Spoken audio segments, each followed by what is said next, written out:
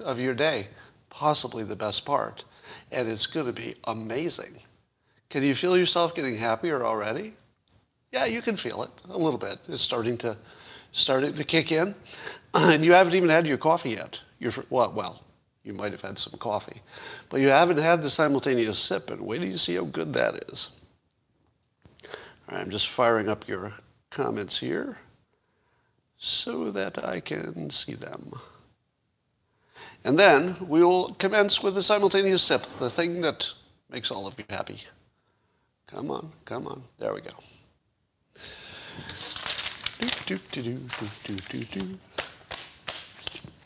And now, what will it be that's coming next?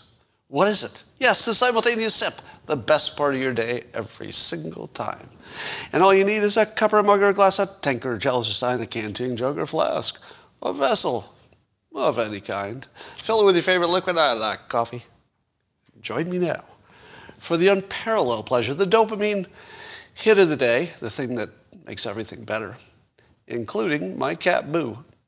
It's called the simultaneous sip, and it happens right now. Go. Uh, Alex took a pre-simultaneous sip. Mm, yeah, not, not authorized, Alex. Not authorized. But this time, I'm going to let that go. I'm going to let that go. All right. Let's see all the excellent news that's happening today. Sipping like a gangster. uh, all right. So we have uh, uh, our first segment is vampire news. Vampire news. Um, an Illinois man woke up with a bat on his neck, and the bat was biting him in the neck. And uh, tragically, he died of rabies. Uh, apparently, rabies can be treated effectively, but only if you get there in time. And he did not. And he's the first person in the state's uh, in the state's history since 1954 who died from a, a bat bite. Now, I'm not an I'm not an overly cautious person, and I'm not really superstitious. But I just think as a precaution that if a bat bites somebody on the neck, you need to burn the body.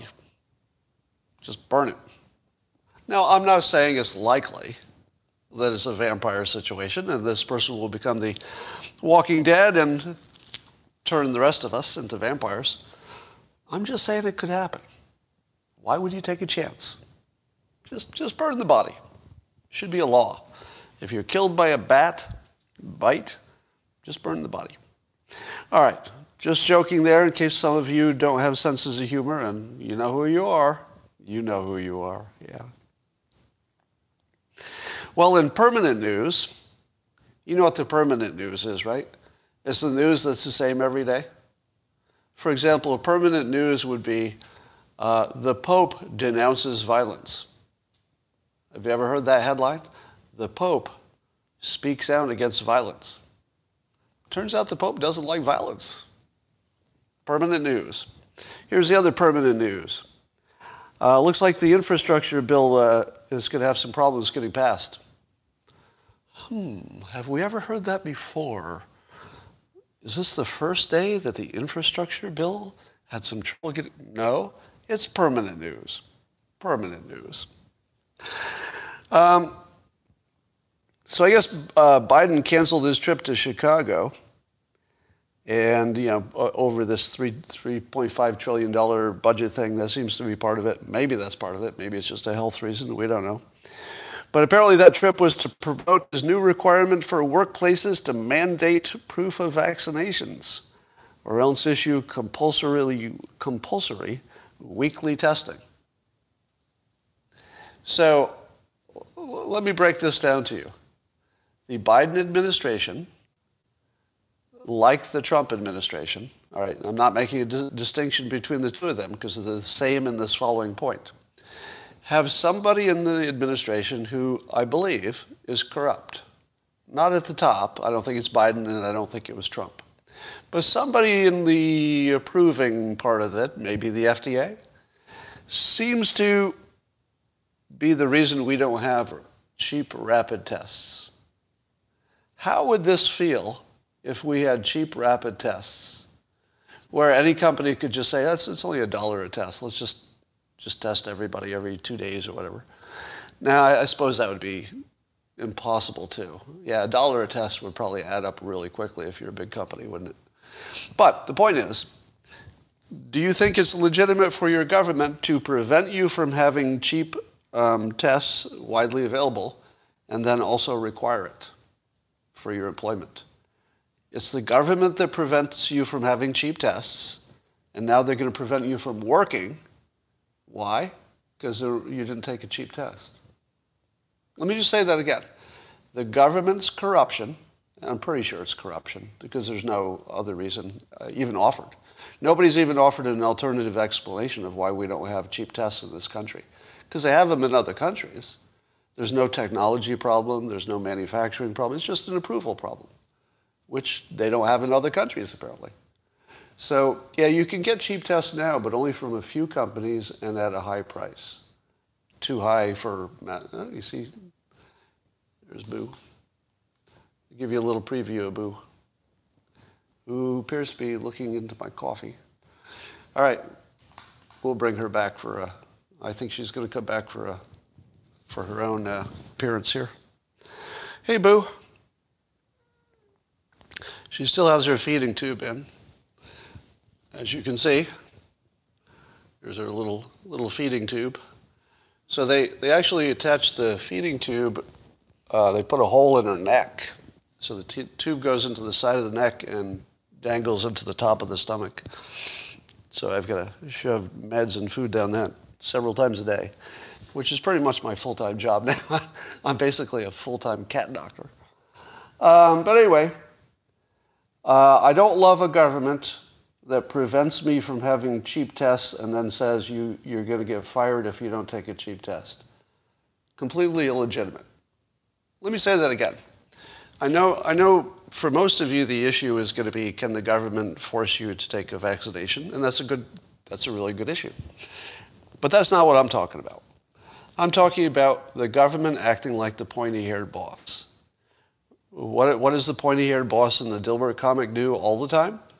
creates a problem, the boss creates the problem, and then assigns the blame to the employees. Well, why didn't you perform better? Well, it's because you created a situation in which we couldn't perform. Likewise, Joe Biden's administration and its corrupt, whatever is corrupt in it, same, same corruption that was with the uh, Trump administration, I assume. That's an assumption, but it looks like it. Um, he caused the problem and then he's to he's to fire you for it. You're to get fired for Biden's failure. I'm not making that up.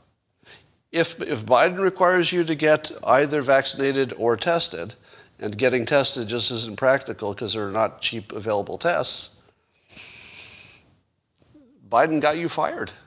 He caused the problem and then blamed you. Caused the problem and then blamed you. Not acceptable.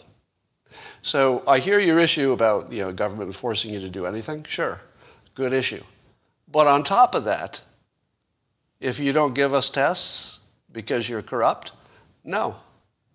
Flat no. That's a hard no. Now, the question of whether there should be mandates for employment or not, I don't even get to that question. You can't even get to that question to have an opinion on it because you have to get past the question of is it possible to do the testing? It's not because of the people making you do it. I don't know what could be a less legitimate government policy. That's the most illegitimate thing I've ever heard of. Top that, really. Really top that. Top that for being illegitimate. It's hard. Rasmussen has a uh, poll asking about the border situation. And uh, one of the questions was Is Biden or Trump's policies on immigration better? 51% said Trump.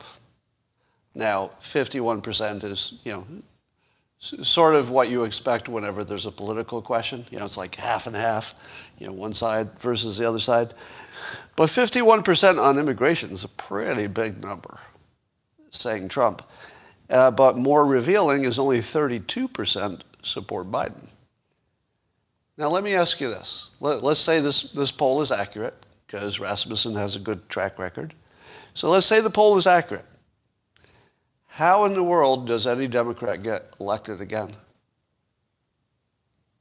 How? really?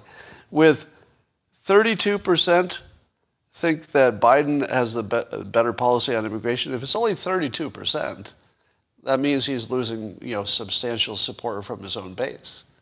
How do you, you can't get elected if you've lost even a little bit from your base. Speaking of which, um, Kamala Harris is getting some heat from Israel because apparently she visited a classroom and a student asked a question in which the, the question um, embedded in the question was uh, an insult to Israel in the sense that it uh, referenced what they were doing as ethnic genocide. Right? So that was the student's characterization. And Israel is complaining that Harris sort of just listened while nodding. I think the nodding was the part that seemed bad because it seemed like she was nodding in some kind of an agreement with what the student was saying. Now, I watched the video and I, I didn't see that. So I think it's fake news. Uh, what I saw was that she was doing the I'm listening to you nod as opposed to the I'm agreeing with a specific point nod. Because if you look, she just sort of is doing the soft nod as the student is talking. I think it's just good listening skills. I didn't see her agreeing or disagreeing with the student. But she should have pushed back harder. Yeah, I mean, if you're Israel, if you're Israel, you're looking at that and saying, uh, you just let a student say on video that Israel is doing something called ethnic cleansing, or no, ethnic genocide, I think and you're the vice president of the United States and you didn't, you didn't take a moment to say, well, I don't think that's a fair characterization. She just sort of let it stand and then made her point. Now, I don't really have a strong opinion about this particular situation because I don't think that Kamala Harris was, you know, agreeing with the genocide part of it. But she didn't handle it well. And if you lose Israel, and let's say you, you lose Americans who are pro Israel, especially in the Jewish community in America, how do you get reelected? How do you get reelected? I, I feel like uh, Biden is losing Black Lives Matter with the mandates, the vaccination stuff. I think he's losing everybody with immigration. I mean, how, how does the guy get, how does he get reelected? Or how does any Democrat get reelected? I mean, it's not going to be Biden, but. All right, so it looks like it's going to be a. Uh, I would guess the midterms are just going to be a, a blowout for Republicans. What do you think? Does it look like now the, a lot could change between now and the midterm election, right? There's something changing every day, but but even if you imagine you know some some baseline level of fraud, even if you imagine that's true, doesn't it look like the midterms are going to be a just a, a blowout for the Republicans? Abortion question. Yeah, that's a good point. The abortion question could work in the other direction. You're right. Um, yeah, that Texas abortion bill really, really does change the situation. But I wonder, I wonder if it's only going to affect those states that are maybe Republican anyway. You know, if it only affects the states where you, you were going to you were going to get a, a Republican, you know, because if you, if you take Texas, they've got immigration that's in everybody's face, and then abortion, which is in some people's face. Like when, when I think of the abortion question, I've sort of aged out of it being relevant to me personally. Like, eh, don't think about it. But the immigration feels like it affects everybody a little bit. So to me, it looks like a blowout, but lots could change between now and then. Uh, Biden got embarrassed by his own generals. I guess uh, General Milley and uh, at least one other general, maybe Austin said this too, um, that Biden was advised to leave 2,500 or so troops in, uh, in Afghanistan permanently. And that is shown to be a um, making a lie out of Biden, making a liar out of him because he said to Stephanopoulos in an interview not too long ago that nobody advised him to keep 2,500 troops there. And then the general said, yeah, we advised him to keep 2,500 troops there. So what do you make of that? I'm not sure they're talking about the same thing.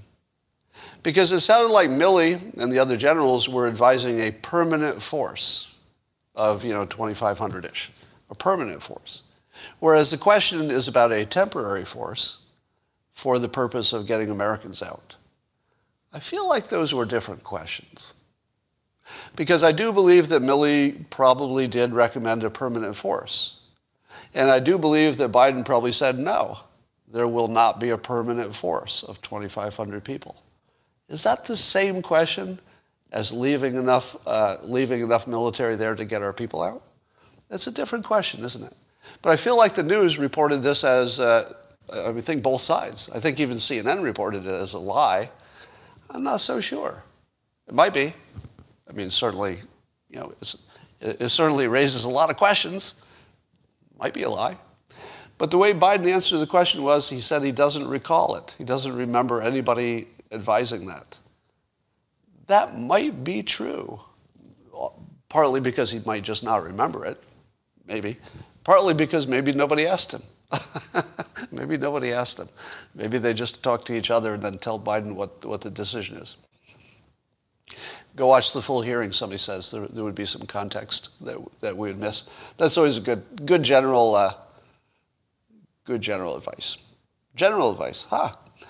Um, but I feel as though maybe there were two topics that we merged into one. We've conflated the question of staying there forever, which we didn't want, or at least, you know, I wasn't too crazy about it, um, with the question of staying there for a while.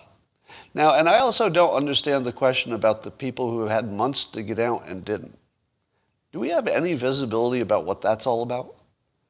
What, what about those people who had months to get out and then didn't? And then apparently there was also the, uh, you know, some thought that we would keep a permanent embassy there and that would allow people to get out who had straggled.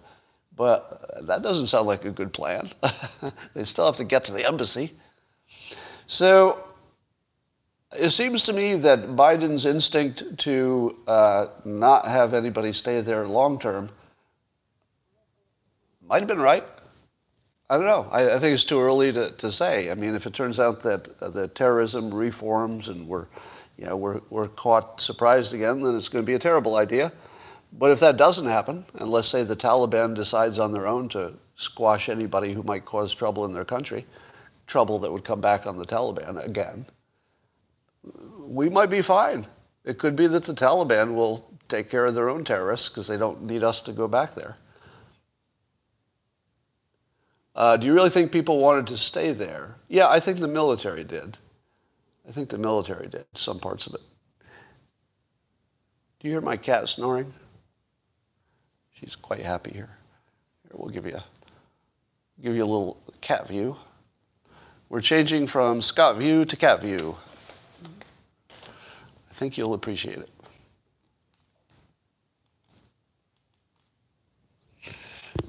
Here's a little feeding tube. Very sad, but she seems to be doing fine. All right, I'll let you look at the cat while I read this, this other stuff. No, I'm going to make you look at me. Yeah, I'm going to make you look at me. Sorry. I know nobody wants this, but it just doesn't work as well. All right, back to me. No. All right, I'll compromise. I will hold the cat on my lap while I do the rest. All right? Compromise, a little bit of cat, a little bit of Scott, best of all worlds. All right. So there's a story uh, today about there's a new book coming out from an ex Google guy top technologist from Google, who is warning us about uh, AI becoming smart and taking over.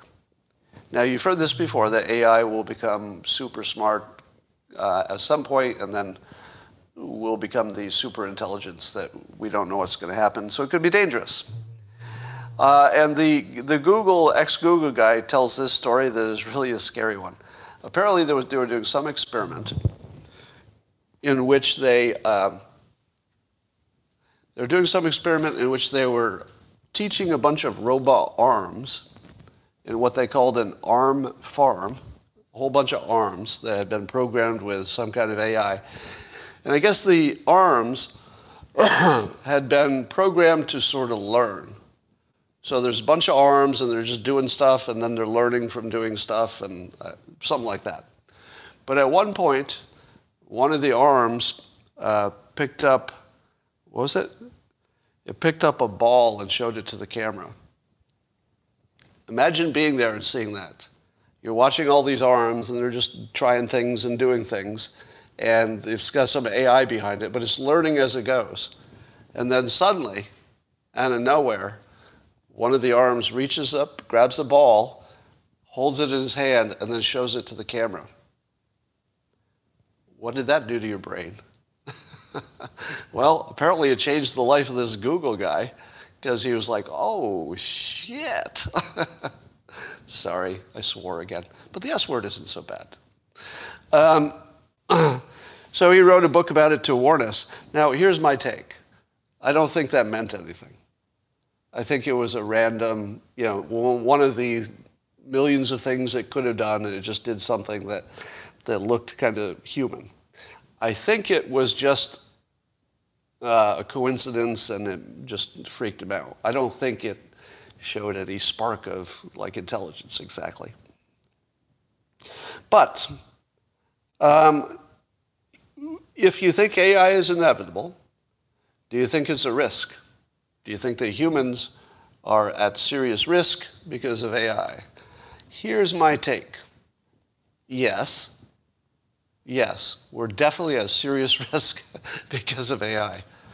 Um, it's a risk to the CIA, somebody saying in the comments. Um, can't we just unplug it? Nope.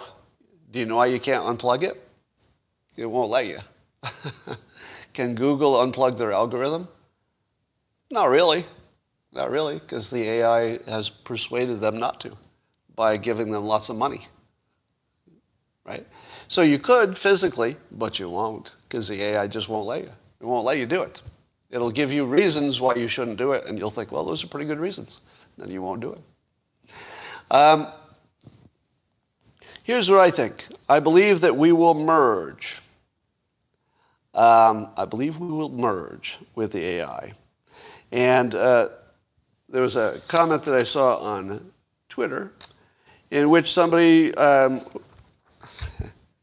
said uh, that he'd rather be dead than to have the AI merge with him. So he didn't want to be part human, part machine, rather be dead. To which I said, Did you type that tweet on a smartphone? See where I'm going on this? The gentleman who said he'd rather be dead than a cyborg doesn't realize he's already a cyborg. if you have a, a smartphone, you're a cyborg. It just isn't physically attached, but that's just a convenience, right? It's just a convenience that is not a, a physically attached. There's no reason it couldn't be, and there's no reason it won't be. At some point, it'll just be attached. It might be attached as like an earpiece. Have you seen the new uh, headsets that attach to your, uh, I think it's the bone instead of your ear? So you can have it, I think it's behind the ear or something, and it doesn't have anything that goes in the ear hole. It just somehow picks it up from your head or vibration in your skull or something. So yeah, you will have permanent attachments. You're already a cyborg. There isn't any way it's going backwards. You're a cyborg. Sorry. All right. Um, let's see. Got a few other things I want to talk about here. Quite a few, actually, it turns out. Um, New York Times is uh, reporting that the FBI was, in fact, deeply involved with the January 6 events and that they had embedded um, informers or agents or whatever. And so the reporting that uh, Tucker Carlson did after Revolver.com broke the news about the FBI informants being part of that group, uh, New York Times has confirmed it. So now the New York Times has blessed it. Now, what did I tell you about fake news? One of the best ways to identify fake news is if only one side of the political world reports it as true. If the left says it's true, but the right says it's not, it's not true. If the right says it's true and the left says it's not, it's probably not true. Right? So the only things that are probably true are things where they both agree. And they now have both agreed that the FBI was deeply knowledgeable about the events of January 6th before they happened and during, even during. So, how much responsibility does the FBI have for not warning, I don't know, law enforcement sufficiently? And how much involvement did they have in causing it? Because we don't know that yet, do we? Because that's, that's not unheard of, right? It is, it is well within the possibility that the FBI agents could have been actively acting like participants in planning stuff, you know, just to be in the inner circle. So you have to worry about, uh, you really have to worry about the FBI at this point. I guess I'm saying something obvious, aren't I? Uh, man, there, uh, have you ever seen a trusted organization fall so far, so fast? In the last, what, five years, the FBI went from one of our most trusted institutions to we don't even know if they're on our side. Uh, not really. You don't even know if they're playing for your side. Who knows what they're doing at this point? I mean, they do seem to be, you know, as aligned with Russia as they are with the United States. Because look at, you know, look at the fake you know, collusion stuff, the, the fake everything, basically. I mean, the FBI seems to be working for Russia as much as the United States. I hate to say that. And I'm only talking about these few high, high profile issues. I'm not talking about, you know, every FBI agent who's just doing their job and, you know, doing useful stuff. But for this big political high level stuff, can't trust them at all. Well, as you know, I've been saying by Twitter and otherwise, that uh, China is not safe for business. China is not safe for business, meaning that if you were a CEO and you made a, the decision to go bring new business to China, let's say build a manufacturing plant there or have them manufacture for you, you would be taking a risk that would be hard to explain to your shareholders. Because we're seeing that China's got all kinds of, you know, theft problems of intellectual property. Probably there's a physical problem that your executives could be thrown in jail for leverage for some reason. You've got the risk of losing uh, electricity. Apparently, Tesla is running out of electricity, you know, at least the manufacturing plant in China. So you've got all of these risks. And so I ask you this question. I'm going to ask you this in the comments. How many people think that I can personally end business with China? I mean, it was never one person, but how many think that persuasion wise, the sentence, China is not safe for business, could uh, take China down? No way to know, but I would say it's well within the feasible domain. There are some things you think, well, it's a long shot. It might work. This is not one of those. This is not really in the long shot category. This is in the pretty good odds category. And the reason is this. I have this sort of special domain that I uh, occupy. One is that I'm the Dilbert creator, right? So if you're the Dilbert creator and you focus on some element of business that's like really absurd and it's not working, you don't want to be the CEOs on the other side of that because nobody wants ridicule. Criticism, fine. You know, people can take criticism all day long. If you're a CEO, you can take criticism. You didn't get that job without being able to handle some criticism, but not ridicule. Ridicule is different. Nobody wants ridicule. And ridicule is coming at you in a big way. if you want to see what ridicule looks like, just move some business to China in a big way and then let me know about it. See what happens. You're going to see ridicule like you've never seen, right? And uh, you're not going to be able to ignore it. So, since businesses are really a cover your ass enterprise, especially at the executive level, it's all cover your ass, right? Now that I've laid down the risk, I just laid down the risk. It's very clear, and I would think you would all agree that that's a risk. What CEO is going to walk right into that? Walk right into the risk. And they just say, ah, yeah, I heard there's a risk and I might get ridiculed, but going to do it anyway. Some might. It's going to be a bad play. Yeah, and you don't have to stop every company from doing business in China. You just have to reverse the trend. And I got retweeted on this point, um, the, the point about uh, China is not safe for business. And the context was them losing energy. And uh, Dr. Jordan Peterson retweeted that and said, expect much more of this. But what's interesting is he didn't define this. Right? So the tweet that I retweeted was about China losing energy, you know, didn't have enough power for their factories. But my comment on top of it is that China is unsafe for business. And then Jordan Peterson retweeted my comment and, and the content below it and said, expect much more of this. More of which? More energy problems? Or more people saying that China is too risky for business? Which one was it? What do you think? Do you think he was talking about much more uh, realization that China is risky or much more energy problems? Which do you think Jordan Peterson would think would be important enough to retweet? I don't know. Here's a fun speculation. Jordan Peterson once said, I was just reading this this morning, he once said uh, that his IQ tested at over 150 when he was younger. He thinks it may have degraded over time with age as IQ does. Um, but he's got a genius IQ, and he understands psychology, right? Uh, Ian says, I thought we don't do mind reading. Correct. You don't do mind reading with certainty.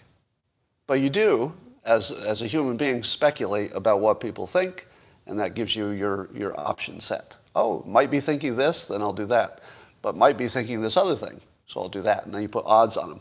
But if you have certainty about what somebody's thinking, well, you're just crazy. That's just crazy. but if you have, but if you speculate because you have to, because you have to make a decision, well, that's reasonable. It's just hard to do. So here's my question: Does Jordan Peterson recognize the power of the persuasion you know, the psychological power of telling business that it's too risky to do business in China and warning them in advance so that if they do it, they can't say they weren't warned. Can't say you weren't warned. That's the worst situation to be in. It's one thing to make a mistake, but it's a different deal if you make a mistake that you were warned. You were clearly warned, right? Here's what I think. There's a non-zero chance that Jordan Peterson is not talking about the energy problem in, in China or is partly talking about it. We don't know. I mean, he's the only know. He's the only person who knows what he was thinking when he tweeted it. But I have at least some suspicion that given his enormous IQ and his specific domain of expertise, that he knows exactly what I'm doing. I think he knows exactly what I'm doing. And I think he just boosted it. Don't know for sure. It would be a fun question to, to ask him that. Uh, I've never talked to him in person, but I would ask him that. Now, one of the things he said that is that his IQ, uh, he expects that his IQ is uh, decreasing with age, because apparently that's the thing, as I said. But I'm not so sure that's the right way to look at this. So I'm going to, I'm going to, you know, I'm not sure it's a disagreement, but uh, an additive thought. I feel like we should have a different concept called a functional IQ. And a functional IQ, as opposed to a genetic IQ, just what you're born with, a functional IQ would be the product of whatever your genetic intelligence is, what you're born with, times your experience. Now, experience is you know, a qualitative thing, so not all experience is equal. But experience in this context would be a talent stack, a, a series of talents and knowledge that you've put together over time that work well together.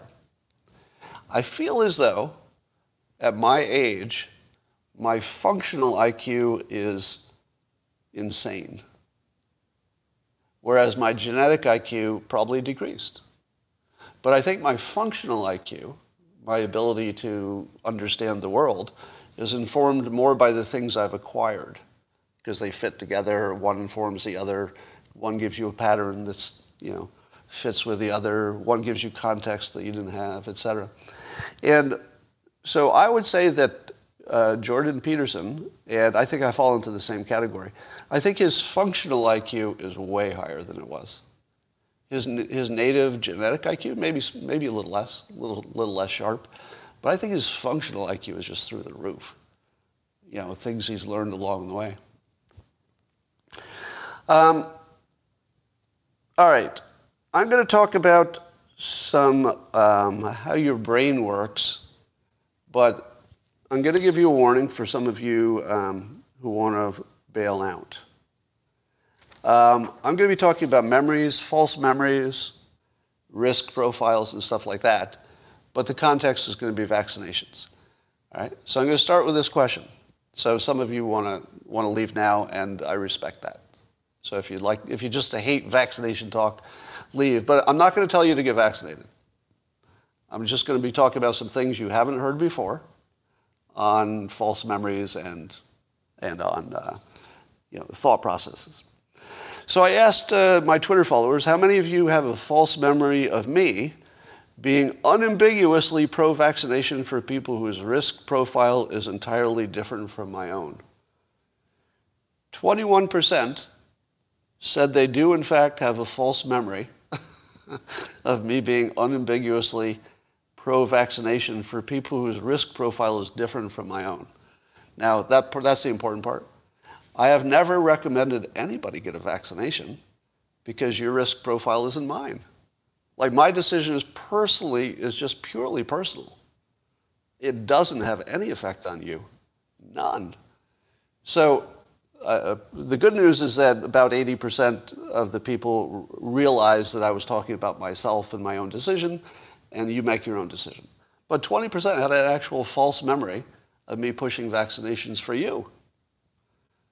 Can you confirm, those of you in the 80%, could you confirm for the other people watching that I've never pushed vaccinations for you?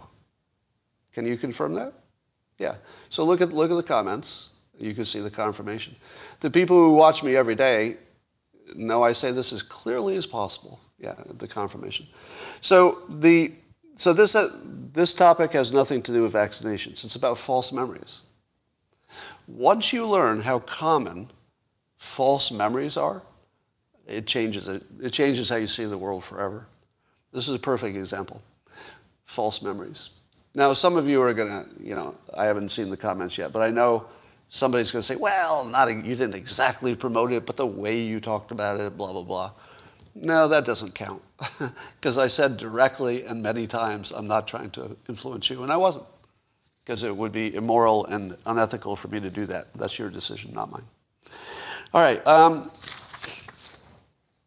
next thing. How many meds do you take that you don't know the long-term risks? Let's say, you know, I asked the question on Twitter, but I, you know, just to be funny, I said this morning. How many meds have you taken this morning that you don't know the long-term consequences? But let's, let's say in the last year, you know, most people have taken some kind of medicine in the last year. How many of you uh, have taken meds in which you don't know the long-term consequences? Somebody says, uh, Maggie says zero. I only take supplements. Does anybody want to answer Maggie? Maggie says she doesn't take any drugs that might have a long-term consequence. She only takes supplements. Um, Maggie, nobody tests supplements. Nobody tested those, right? Now, I happen to think they're probably safe. But Maggie, nobody tested them. Sorry.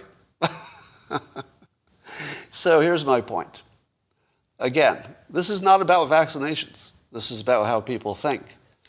I think it's very unlikely that you lasted a full year without taking any kind of med that you don't know the long-term consequences of.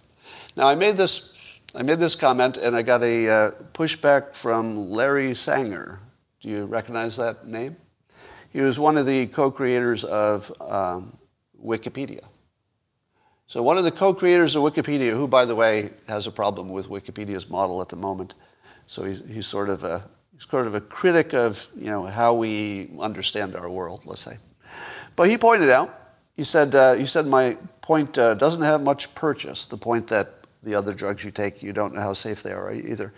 He said many of the drugs commonly prescribed, which is what I'm talking about, drugs commonly prescribed, have relatively long histories and are known to be safe or are known to have side effects that aren't as bad as the condition they treat. Do you agree with that? So here's one of the co-founders of Wikipedia making a point of fact that many of the drugs commonly described have relatively long histories and are known to be safe. Do you agree with that? I'm just watching your comments. I see mostly no. Nope, nope. so here's the thing. Who do you think is checking? name the organization that's checking.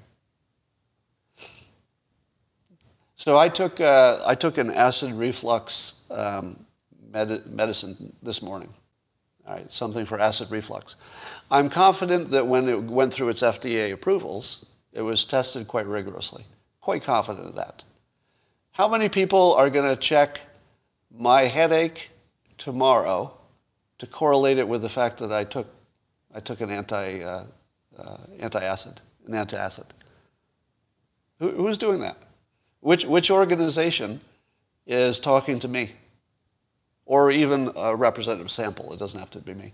Who, who is doing the survey every year to find out if the people who took an antacid and also took, let's say, some other medicine, and found out there was some problem if you take the two. Not if you take the one, but maybe if you take the two together. Who, who's studying that? Nobody. Nobody's studying that. How would we know? If a thousand people had uh, heart attacks this year because they took name any safe drug, would we know? No, we would not. We would only know that a thousand people had heart attacks just like a million people have heart attacks. We would have no idea. We are completely blind to the long-term effects of the medicines we take. We're completely blind. Is that really different than the vaccination? So here's the math. The math of it is that all of our medications are dangerous in the first, or could be dangerous. The, the, the part you worry about is the first few months. And all of them have the quality that if you get past the first few months and you don't notice anything, and you're looking for it then, you're pretty safe. But not completely, right? And, we're and when we're talking about vaccinations, you're talking about the small risks, because the risk of dying from COVID is small. So you're only talking about the small risks. Can you tell me that aspirin doesn't have a small risk? How many of you took an aspirin this year? You know aspirin would never get through the FDA approval, right? Now, I heard this as a claim, and I, I expect it's true. But did you know that the aspirin that you take every day, if it had not already existed long before the FDA, that if it were developed today and introduced today, it wouldn't be approved. Too dangerous. Did you know that? yeah, stomach bleeding, etc. Right. So we don't know what any of our meds do in the long term, and, but we do know that the risk is probably lower we notice, but not zero, certainly. And specifically, what about the mRNA? You know, what, what can we learn from classic um, vaccinations that would tell us anything about the safety of mRNA? I would say nothing. I would say there's nothing about our history that would tell you if an mRNA vaccination is, is safe in the long run. Now, again, everything that doesn't kill you in the first two months has a pretty low chance. It's going to be a low chance, but not zero. Not zero. Um, Andreas Backhaus asked this interesting question. Imagine if the mRNA platform, the technology that some of the vaccinations use, Imagine if that had been used first for cancer treatments and successfully and had, had cured a bunch of cancers. Now, first of all, would you have been worried if you had terminal cancer, let's say, or even just a bad cancer? Would you be so worried about the side effects? Not so much, right? because the cancer is so bad that you would accept a pretty big risk of side effects to get rid of it. So imagine, if you will, this didn't happen, but we know that the mRNA platform is being looked at and tests are going to be done on cancer. So there's a very um, high chance, the scientists say, that the same platform used for the vaccination could make a big, big difference in cancer and some other things as well. Suppose that's where you'd heard of it first. Suppose you'd heard of it first as curing cancer, and it was just a five years we've been curing cancer with this stuff. And then they said, we're going to use the same platform, different, we're going to tweak it differently, but the same platform, and we made a vaccination. Do you get the vaccination then? Now, would that tell you anything you didn't know? Nope. there would be no extra information. If, if we'd been using it for years for cancer, it wouldn't tell you anything about your risk for using it for something else. But, I mean, logically, it wouldn't tell you. There's no, there's no connection there. But how would it make you feel? The question is about how you'd feel. You'd feel safer, wouldn't you? Just because you'd say, well, we got five years of testing cancer with the same platform, and even though the platform was tweaked and it's different, different application, yeah, that gives me some safety. Yeah, I, I, think, I think the question is fair because I think we would be influenced by our prior experience, even if the prior experience was completely irrelevant, because it would be. It would be close to completely irrelevant, but it would still influence you. You'd still say, well, it worked for cancer, even though it's a different, different application. Yeah. Um, so let me ask this. So here's a question I asked on, on Twitter, on a poll. I said, if you're unvaxxed because of the unknown long-term risks, how many, how many in the comments, how, does this uh, describe you? That you're not vaccinated because of the unknown long-term risks. If you're in that category, uh, how many meds did you take this morning that are in the same, basically the same situation? And 8% said uh, yes, that this morning they took meds. About 8% said they took meds that had the same risk profile, but they took them anyway, even though they, they're using the same logic to not take vaccinations. Um, but to be fair, to be fair, you might be taking a medicine now that you know fixes your problem. And you, and you don't want the problem, so you're willing to take some side effects and some risk. But you say to yourself, but I don't know what are the odds I'm going to have a bad outcome with COVID. It's so small that do I take a risk to get rid of a problem that's so small compared to I've got a problem every day with my allergies or whatever my thing is, my acid reflux, and I know it works on that. So at least I'm solving the problem. The trouble with the vaccination is you don't even know for sure you're solving a problem because you might not even be infected. And if you got infected, you might not have a problem. So yeah, it's different. Uh, I'm not going to say that the analogy uh, works, but I was wondering if people had any uh, cognitive dissonance around the fact that we routinely take things we don't know the long-term risk. It's pretty ordinary. And what about the risk? I also got some pushback from uh, Viva Frei, or Fry. Uh, how does he pronounce his name? Uh, Barnes and Fry, F-R-E-I. Um, I'm sorry, there's, there's some names that I will never be able to pronounce correctly, and I just, I have to universally apologize in advance for screwing up people's names. But um, it's pronounced, somebody's helping me in the comments, and you're pronouncing it differently in the comments. So I see fry as the pr correct pronunciation. Okay, let's go with fry. Well, now I see people saying free. Damn you in the comments. Damn your eyes. He pronounces it fry. Okay, then, fry it is. All right. Um, uh, All right, so here's the question. The question is this Can the government make you do something like get a vaccination that you don't want? Is it legitimate for a government to force you to get vaccinated? No. Most of you say no, right? not really legitimate for the government to tell you what to do with your health care.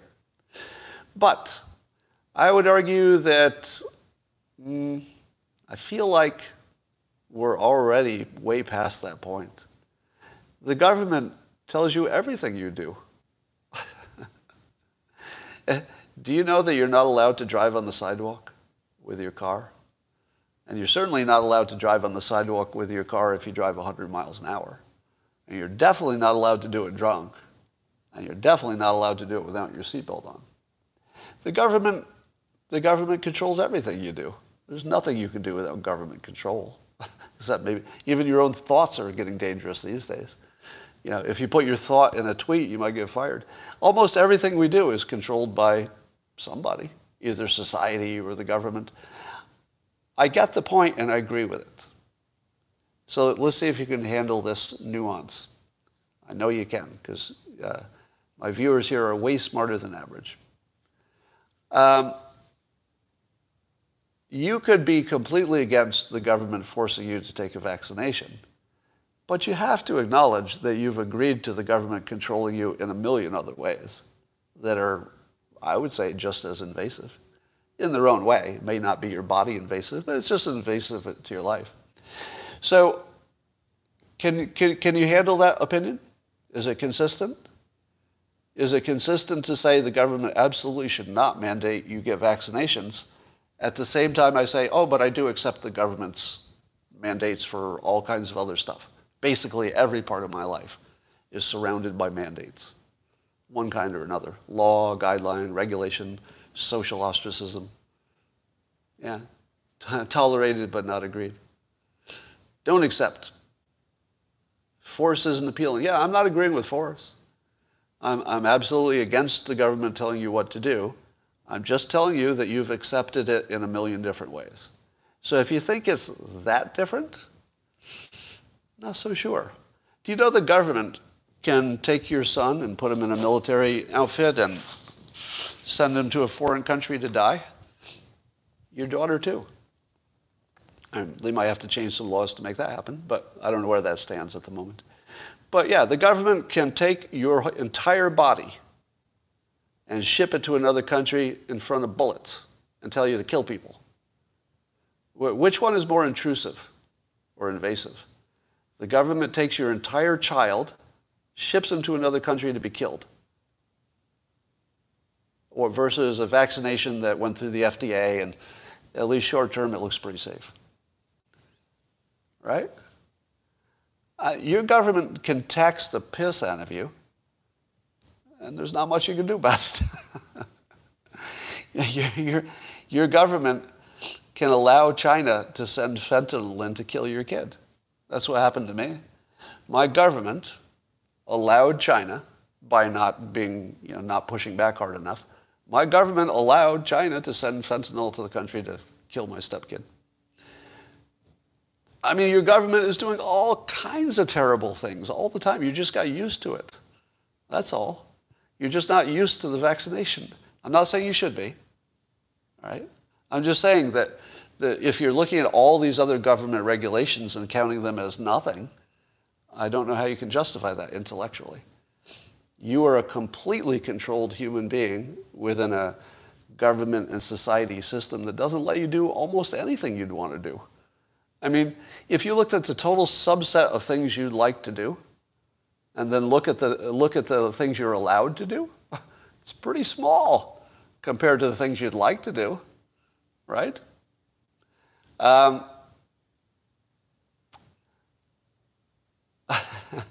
somebody says they're going to report me to Homeland Security for all my anti-government talk. Um, yeah, the, the, China is using our post office to send fentanyl here. Amazing. We, we should just stop accepting mail from China maybe make some exceptions for you know people who have factories there. Well, maybe. Yeah, we could just do shipping containers, but not mail. How about that? How about that? We just stop taking uh, any package from China. We'll, t- uh, we'll take mail if it's just a letter, but we won't take any package. It's got to be on a shipping container or it can't come. Eh, maybe they just switch to shipping containers and it'd all be the same then. Um, yeah, stop China for producing pet feed. Yeah, there was that problem with the dog food killing dogs. Uh, Michael's, uh, let's see. Dee Dee says, my neighbor is running his third power tool since 10 a.m. Well, I'm sorry. All right, that's all I got for now. Uh, you want Scott to get with Dave Smith and the, uh, um, the LP, what is that, the uh, Libertarian Party? Uh, I heard this morning that Dave Smith, uh, comedian Dave Smith, might be thinking of running as Libertarian, which would be interesting. Um, I don't think Libertarians have much of a chance, but it's always fun if somebody makes a. I would love to see a, a comedian run for uh, office. How much would you love a professional comedian running for office? Well, that could be pretty good. I mean, I would argue that Trump is a professional comedian.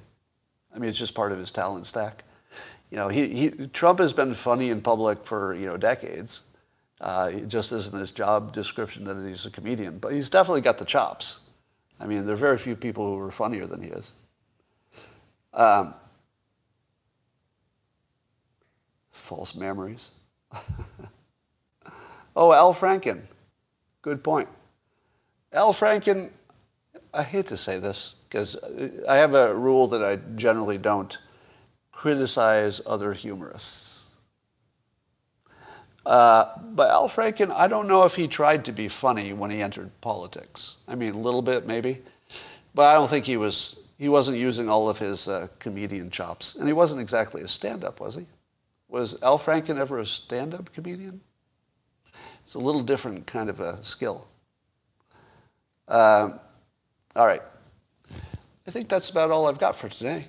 I've got to go do some other stuff, and I'll talk to you tomorrow.